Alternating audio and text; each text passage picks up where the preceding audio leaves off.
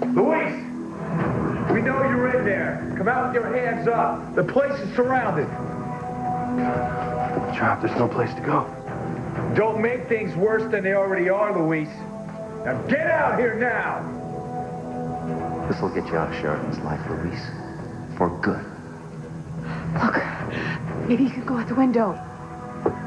Did you not hear, Sam? The place is surrounded. Well, maybe there's a, a dumbwaiter or something. Don't make me break this door.